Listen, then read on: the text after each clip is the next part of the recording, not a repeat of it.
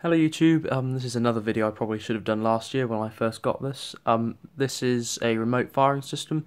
Uh, you probably well, may well have seen the video, uh, little test video I did for the other firing system, which name has completely evaded me. Uh, launch control. The launch control system, that's a wired system. Um, this is a wireless system. Uh, this is a WPS Tiny, so Wireless Pyro Solutions. Um, they do a wide variety of products. So this is the smallest one. This is a full kit, um, 110 pounds I think I pay for this plus delivery, something along the lines of that. Um, basically comes with a few parts. That's just an instruction uh, manual there. So you get the WPS Tiny unit itself, which is very small and quite tricky to get out of the box very, very small little unit. Um, works pretty simply. You undo the screw here, uh, put a couple of 9 volt batteries inside. Uh, there is a second aerial that you can screw onto the top. There's also an internal aerial inside. Um, that's just a little red cap for the aerial thing. Um, you can see there you've got a uh, Cat5 cable slot. So you simply plug the Cat5 cable in the kit. You get this little uh, 12 centimeter one. You can upgrade, obviously, you can use up to 50 meters if you want. If it's good quality Cat 5 cable, that plugs into a WPS slat, which allows you to fire up to 12 cues. So you just put an E match or a uh, Talon into each slot, up to 12. Um, you can use more than uh, one Talon in each slot if you really want to. So you can fire technically sort of up to sort of 36 fireworks.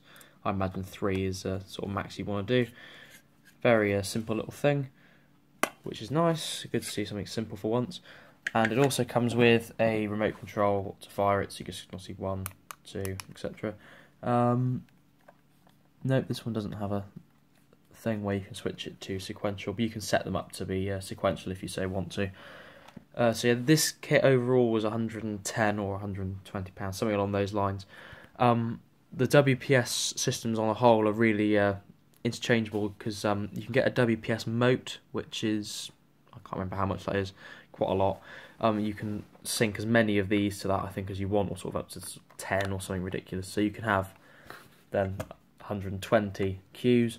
Uh, they also do a hobby uh, one, which is 40 cues or 20 cues, something it's quite big, uh, impressive piece of kit. You can also sync uh, sequential fire with the WPS moat.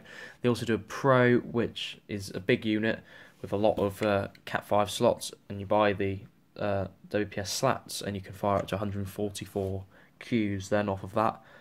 Um, individually, you don't have to buy these as a bundle. The WPS Tiny unit itself is 99, I think. The slat is 20 pounds. Uh, the little remote control about five, or I guess the Cat 5 cable's about the same. Um, so yeah, it's a really versatile little system. This actually, um, I know 110 pounds is quite a lot considering uh, the wired launch control was all of like 25 quid from Firework Crazy, and they're quite expandable as well. They're good little systems. Um, I've still got that. Still used it last year. Uh, I was going to order Talons last year and fire New Year's Eve with it, but the Talon order fell through, and this year I don't have enough money, so uh, the Talons won't be used this year either. But I'm hoping next year, or maybe even around New Year's Eve, if I find a bit of extra cash, I can get this tested properly, uh, see how it is for hundred and something quid. It's a very basic system, but I think it'll work really well, or at least I hope it will. Uh, so yeah, that's the WPS Tiny bundle. Um, I, I think I still think it's 110 pounds. Um, yeah, you just buy Talons on in you go, and that's a neat little uh, 12Q firing system. So thanks for watching, guys, and I'll see you soon for hopefully some actual fireworks. Cheers.